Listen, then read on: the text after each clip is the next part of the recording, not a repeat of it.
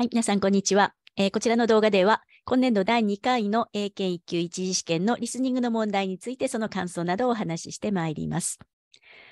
はい、実はあの当校の、えー、ツイッターアカウントの方で、えー、その試験当日の夕方ですね、受験された皆さんにアンケートを取らせていただいたんですね。そして今回のリスニング問題どうでしたかと、え、ご質問しましたら、多くの方が難しかったと、通常よりも難しかったとお答えされました。で特にパート1とパート2が難しかったというね、えー、ご意見が多かったんですね。で、その後、私自身も全部聞いてみました。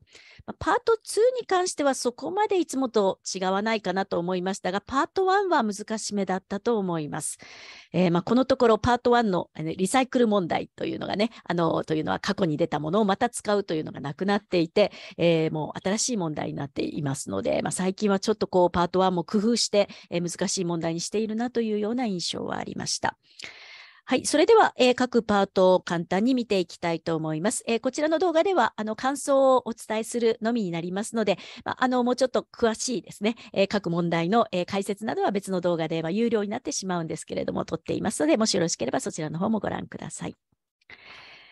はい。それではパート1からですね、えー、いつものように、えー、会話問題1番から10番までありますけれども、えー、全体的に難しかったですね。で、どのあたりが難しいかなんですが、例えば、えー、ナンバーワンですね。こう1番から結構皆さん悩んだんじゃないかなというふうに思います。私自身も悩みました。で、えー、会話自体は全然難しくないんですよね。全部理解できるんです。はい。ですが、何が難しくしていたかというと、あの、クエスチョンが、えー、What will the woman probably do next? なんですね。この next というのが難しくしていたと思います。会話の中で女性がやらなければいけないこといくつか、ね、なんか言われているんですけど、じゃあ、え、次にやるのなんだっけなっていうふうに、ね、なってしまったんじゃないかと思います。で、会話のの中で使われていた、まあ、時を表す、例えば this morning とか in the afternoon とか、なんかこれを聞き逃してしまうとどっちが先だったかわからないっていうような、えー、ことになったと思うんですね。だから少しこれは意地悪な問題というか、なんか英語力とかリスニング力ではなくて、もう注意力というかね、この this morning とか in the afternoon をちゃんと聞いて記憶していたかっていうような、うん、問題だったので、なんか一番にこれを持ってくるのは、えー、どうかなというふうには思いますましたね。で、えー、続く2番も、これも答えにくかったですね。えー、そう、決して難しいというわけではないんですが、選択肢がなんか消去法で、えー、私も選びましたね。だから、ズバリ、あ、これだっていうのがすぐに選べないような感じの問題。そして次の No.3 ですね。3番。これはあのジュリーデューティーについての話なんですね。あの陪審員をしなければいけないという義務なんですけれども、このジュリーデューティーという言い方を聞いたことないと、もしかしたらその会話の最初のところであれって思ってしまって、思考が止まってしまったということも、まあ、あったかもしれないなと思いますね。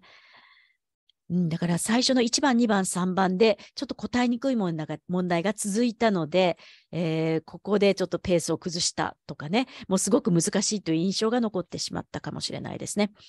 えー、4番は、まあ、問題なかったかと思います。で、5番ですね。これが、えー、ファイナンシングの問題で、コラテラルという単語が出てきていて、まあ、これの意味がわからなくても答えられるんですが、うん、やはりちょっとお馴染みのない単語が出てくると、ね、そこで、まあ、焦ってしまいますよね。はい、あと6番はそんなに問題ないですね。えー、7番もやや選びにくいかなと。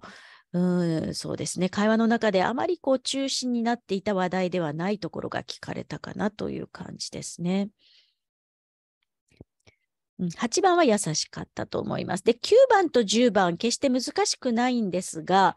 えー、9番が、クエスチョンが、えー、What is one thing the man is、えー、advised to do ですね。What is one thing なんですね。だから、いなんか一つ、言われていたことの一つはどれですかというような問題です。そして10番も、えー、What is one reason なんですね。一つの理由は何ですか？いろんなことを言ってるんだけど、その中の一つが選択肢になっていると。うん、だからちょっと情報が多い中で、えー、選んでいかないといけないっていうのが、答えにくい問題ではあったかと思いますね。えー、ということで、パート1ですね、全体的にいつもより難しめだったと思います。特に最初の1、2、3ぐらいで、えー、難しかったのでね。えっ、と、あとは、そうですね、選択肢が、うん、あまりこうズバリでないものがちょっと多かったかなという感じはしましたね。はい、そしてパート2ですね。まあ、難易度は普通だったんじゃないかなと思います。パッセージもそんなに聞きにくいものはなかったです。ですが、どちらかというとパッセージが難しいというよりか選択肢を選ぶのに、えーおそらく選択肢を読むのが間に合わなかったという方が多かったんじゃないかなと思います。で、ところどころちょっと読みにくい選択肢があったので、そのあたりで、えー、時間的にね、えー、きつかったかもしれないですね。はい、最初の A が、えー、Sleep and Dementia ですね。えっ、ー、と、ここは12番が難しかったと思います。12番ですね。正解は2番なんですが、participants' sleep patterns were likely not caused by dementia. ここに not が入っているのが、うん、なんか急いで読んでるとこの not を飛ばして読んでしまいそうな選択肢が読みにくかったと思いますね。で、しかも、1、2、3、4、5、6、7、8、9、9、5ですね。うん。まあ、大体9か10ぐらい、マックスは10ぐらいなんですけれども、まあ、ただちょっと長さ的に長めの感じですね。はい、それから B ですね。ソイビーンズですね。えー、大豆の話なんですが、まあ、内容的には難しくないんですが、13番が、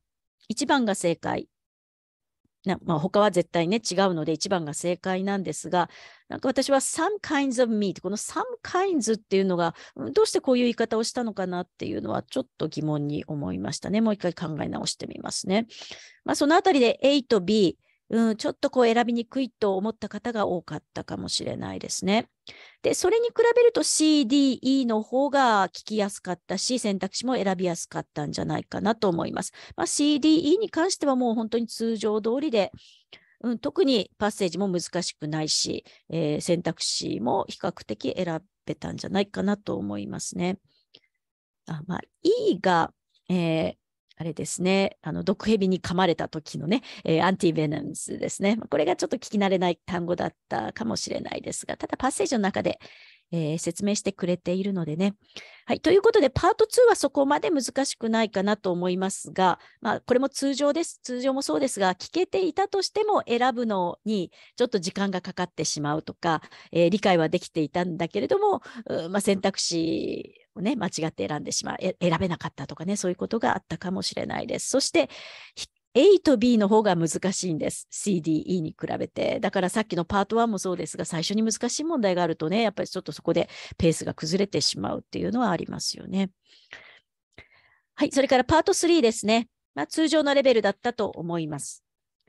難しかったのは、えー、おそらく F と I なんじゃないでしょうかね。これも最初の F が比較的難しいんですよね。最初の問題が、えー、こういうふうに意図的だったのかどうかはわからないですけれども。はい。で、F に関しては、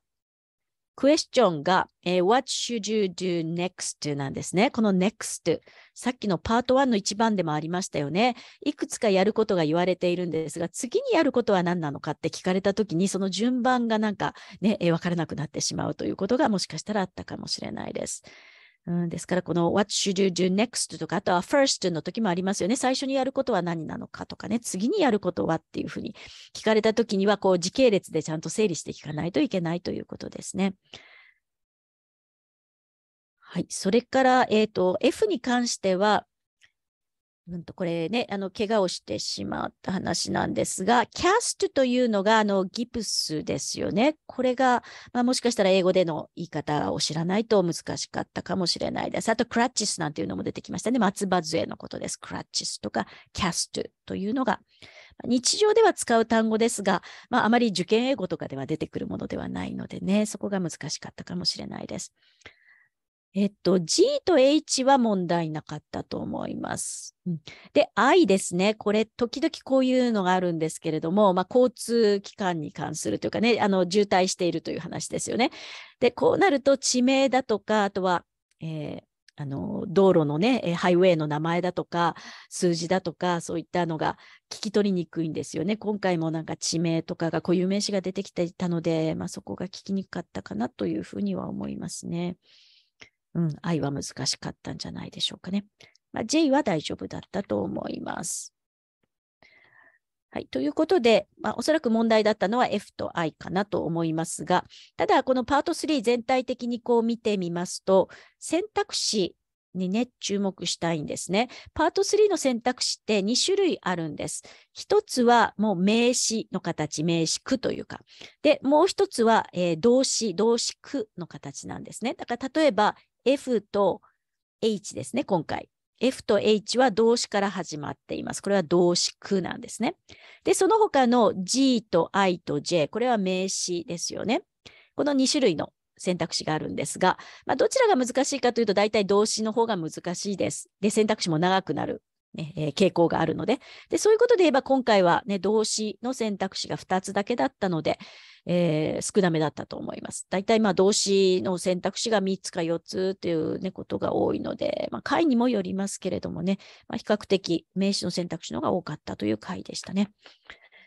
はい、それからパート4ですね、インタビューですが、